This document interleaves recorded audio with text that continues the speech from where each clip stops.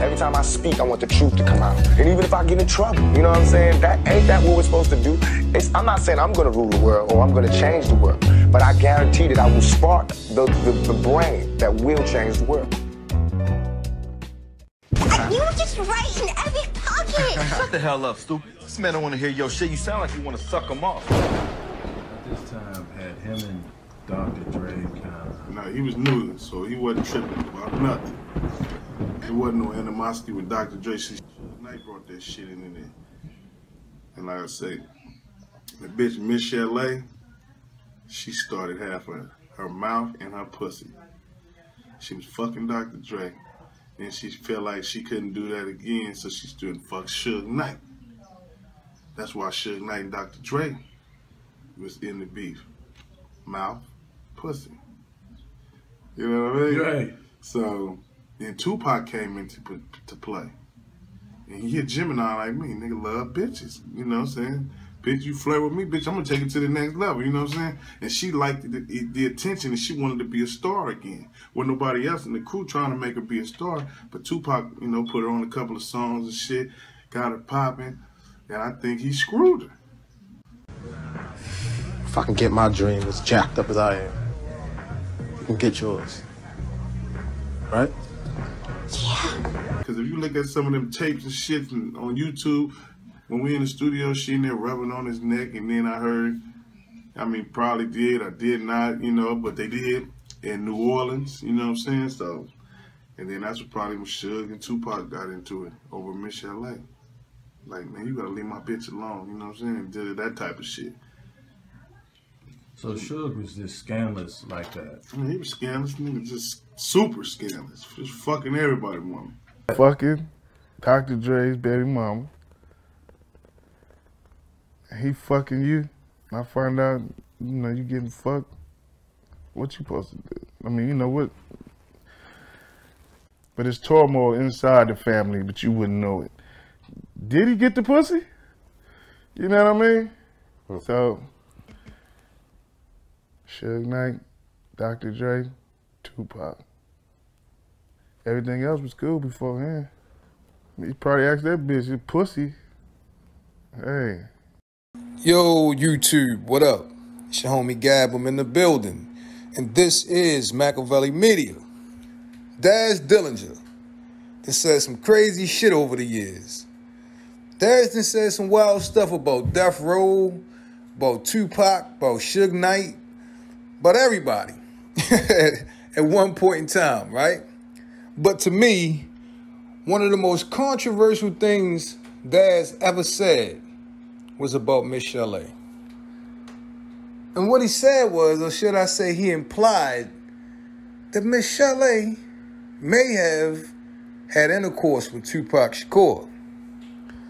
Now, if you look at the video footage of Tupac in the studio, with Michel'le hanging onto his neck, rubbing his head, you know, look like whispering sweet nothings into his ear. You may agree with that assumption. You know, Daz would go as far as looking into her track record. He said that Michel'le was the exact reason that Death Row Records fell apart. Because the two founders and heads of the label, Dr. Dre and Mr. Marion Suge Knight, Michel'le smashed both of them. Had a baby by Dre. Say Dre used to beat on her. Next thing you know, she fucking his partner and then his boss, Suge Knight. Now, could you imagine the tension at Death Row Records with seeing your ex, your baby mama, sitting on your homeboy lap? and you gotta act like you cool with it. Hell no, niggas wouldn't be cool with that. That's work. That's tension at the workplace like a motherfucker. Let's be real. Let's call it what it is. And then you add into the nuance, new shining superstar, straight out of prison, number one with a bullet, whole world speaking his name, Tupac comes into the fold. And he say, and according to Daz, yeah, Michel'le got tossed up by Pac as well. But just how does that look? You know, she running through the whole crew, but the heads of the label. And it's not like this a groupie, this Dr. Dre baby mama. This somebody he stuck with. He glued to her. At least for 18 years. Now she's smashing his partner. And Pac. The crazy part is, I think Dre might have dipped by the time the Tupac accusations come into play. I think Dre had all Dre Dre couldn't take it no more. Dre had already skipped town. So now Suge, you know, has staked his claim on her. He having a baby with her. Well, I think the baby came later. But Daz said, yeah, you know, if yeah, I think Pac might might have smashed that. Now, if Daz is saying that, and Daz is very outspoken, imagine how many other people at Death Row at that time was thinking, yo, she fucking Pac or what? Seeing her and Can Am on Tupac back like a hoodie, like a fur coat. I know they was all thinking that.